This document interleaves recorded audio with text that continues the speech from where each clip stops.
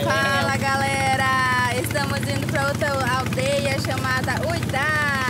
Ó, o Micael, a Glória, a Cleiane, Josué, Milene, Charles. E lá vamos nós.